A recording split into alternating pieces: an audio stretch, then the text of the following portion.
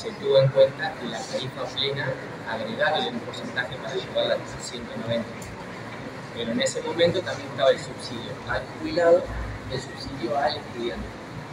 Si determinamos en, esa época, en ese momento fue porque teníamos la posibilidad financiera de poder cubrir estudiantes, jubilados y el porcentaje ese que se llevó de 374 a 190. Hoy, debido al impacto de inflación en estos cuatro meses, se optó por llevar adelante el subsidio sobre los estudiantes y sobre el 50% de los jubilados.